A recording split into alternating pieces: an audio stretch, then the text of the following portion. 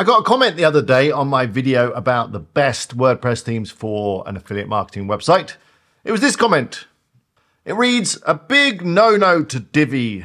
Don't ever use like Divi or Avada or anything that has a non-standard page builder.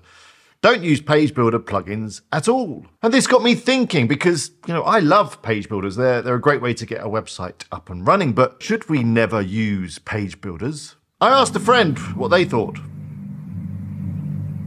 No.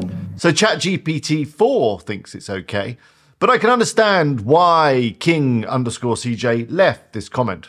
In this video, I'm going to share with you some reasons as to why page builders might be a bad idea, but also towards the end of this video, why page builders might be a good idea. Just to be clear, a page builder is a product like Elementor or Thrive Builder or Beaver Builder or a theme like Avada, which has a built-in page builder. So why do page builders get bad press, especially from website developers? I hate them. Well, the main one is performance. A lot of people say that page builders slow down your website, and in my experience, this is true. However, it's not always the case. If you choose your page builder carefully, some are faster than others.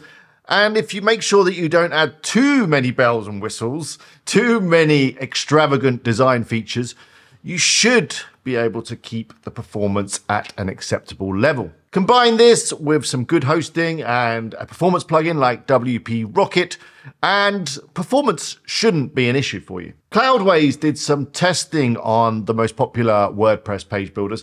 They were testing for speed and they were able to achieve some really good scores on things like GTmetrix and Google PageSpeed. The next problem that people mention with page builders is SEO concerns. Basically, because of the way that the code is generated by page builders, it's not always that clean and it can make it difficult for the search engines to crawl the page correctly. All of the extra code that page builders add can also increase the crawl time. And Google just don't like wasting resources when they're crawling. So if anything on your site is going to slow down the crawler, that's going to be a problem. Probably the third other problem that people mention is that you are stuck with a page builder once you build a site with that particular page builder. Ah! Oh, oh no! It's one of those situations. It's very difficult to move to another theme or another page builder. And this is a valid concern. But to be honest, it's always going to be a bit of a challenge when you want to change the theme on your WordPress website, even if you're not using a page builder. So they're the three main problems that people have with page builders. But I think there's some good reasons to use page builders too, especially if you're new to creating websites. The biggest plus for me is the templates and starter sites that these page builders come with. They make it really easy to get a website online that looks great. And then because they've got a nice interface, drag and drop, something that people can learn fairly quickly, you can make customizations and make the website look your own within just a short amount of time. As well as the full site templates, they also include blocks and patterns that allow you to create brand new pages just by dragging elements together, making small changes. Before you know it, you've got a fantastic looking page. Page builders simply save you time and they save you money. It's so much quicker to get a website up and running with a page builder rather than code it from scratch or use a very basic theme and the built-in WordPress editor. I now build a lot of my websites with Popcorn theme, which uses the built-in WordPress editor.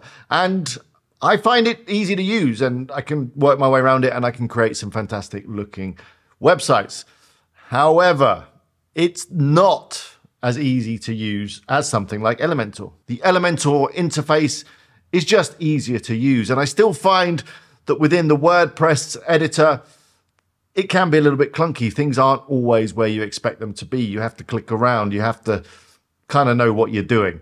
So that's going to be a problem if you're a beginner. And I think that's my ultimate message when it comes to page builders. If you're new to WordPress and new to websites, then yeah, use a page builder. It's going to be so much easier for you to create a website. And then when you've got some more experience and you kind of have an idea as to how things are put together, move on to just using the WordPress block editor and see how you get on. However, if you want the best performance, if you want the best SEO, then you're probably not going to want to use a page builder.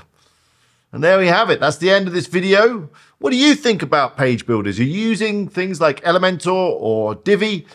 Let me know in the comments. I do read all the comments that I get, and I'll try to reply to as many as I possibly can. Until next time, bye for now.